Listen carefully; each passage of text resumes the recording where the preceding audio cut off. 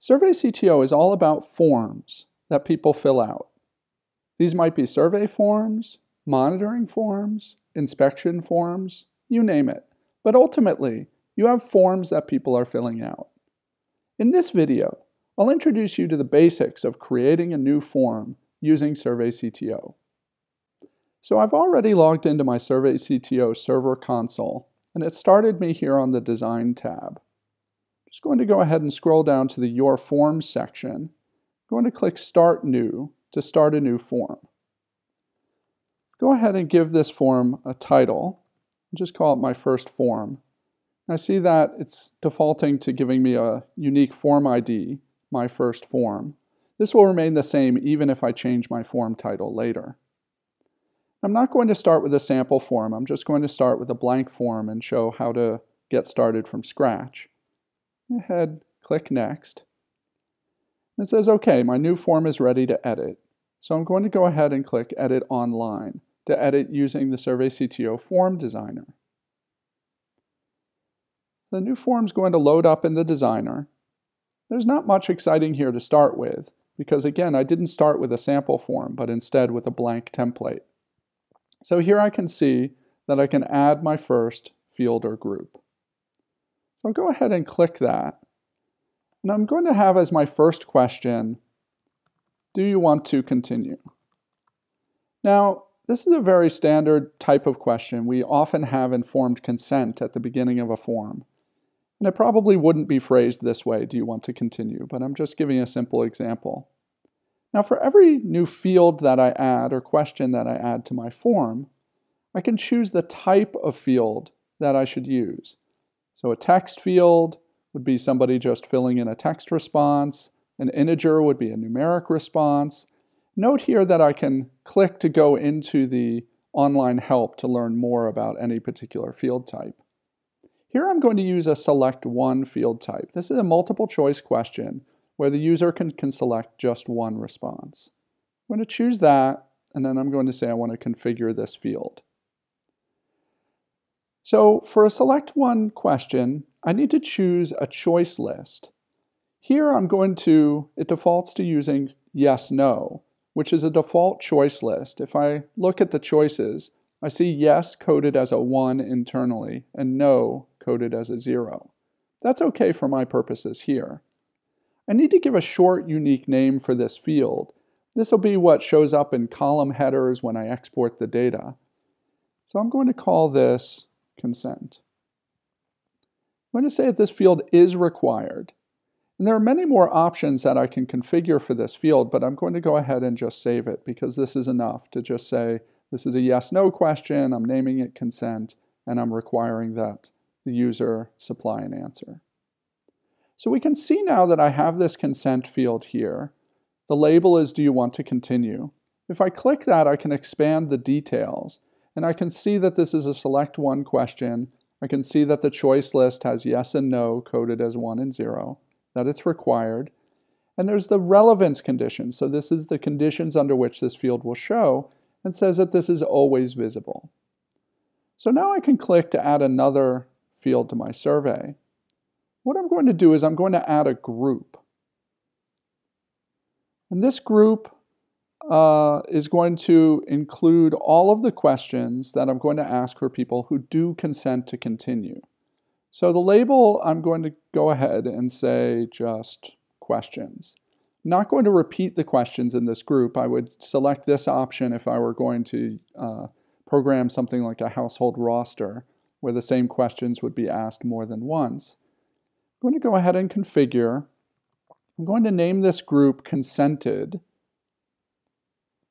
And here I am going to click more options.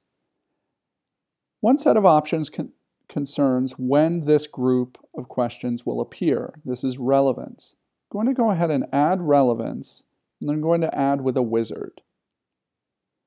So here I'm going to say I only want this to show up when my consent question is equal to yes. I'm going to go ahead and save that. And we see now that a little expression has been created for me. This is the expression that if I were to download the Excel version of this form, I would see this uh, expression in the relevance column of the form definition. I could also edit this expression by hand if I was some, an expert, but I'm going to go ahead and leave it. I'm going to save that now. And we see that I now have this group, consented.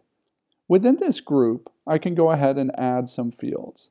So for right now, I'm going to add a field and say, what is your name? I'm going to say that that's a text field.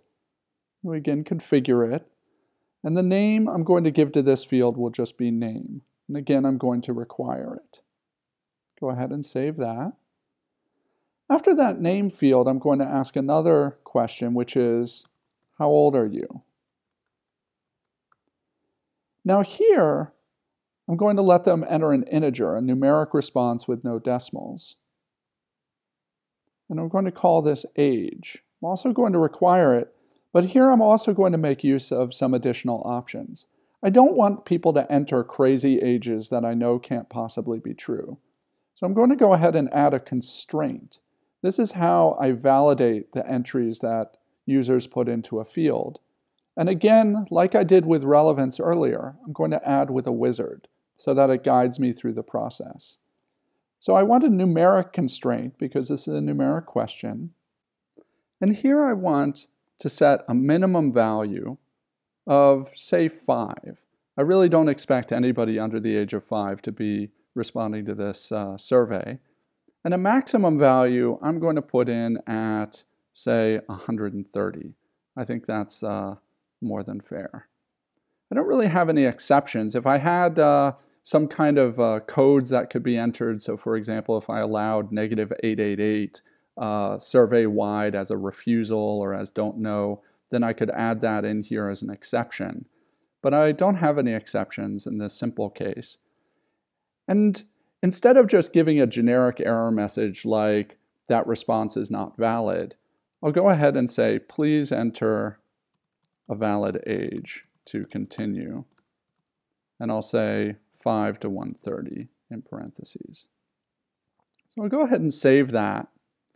And so like with our relevance expression before, we can see that now I have a constraint expression, dot greater than or equal to 5 and dot less than or equal to 130. You don't really need to understand exactly the uh, syntax of these kinds of expressions, but if you are an expert, again, you can go in and edit by hand. So I'm going to go ahead and save that now. And so we see now that I have a consent question, I have a group for all of the questions uh, that will only show up. I can see it'll only show up, it's only relevant if a certain expression is true, which is that somebody said yes to the consent question. And then I have my what is your name and how old are you questions.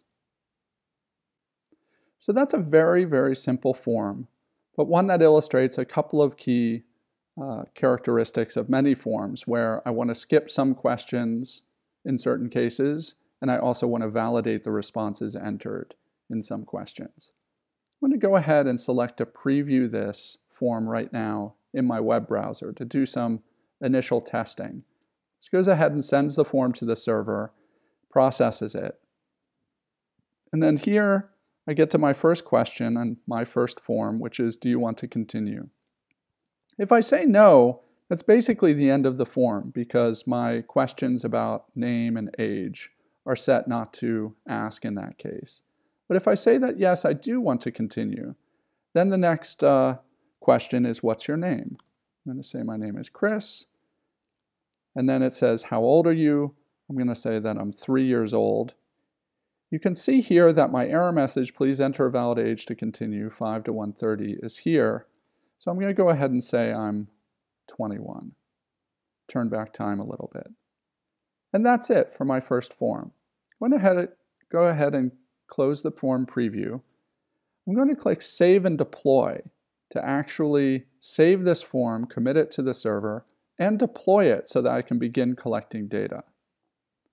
If I go back over to the Design tab of my server console, we can see that my first form is now here in my form list, has a deployed version number, This is automatically generated to help me keep track of which uh, versions of the form are, are out there or maybe under development.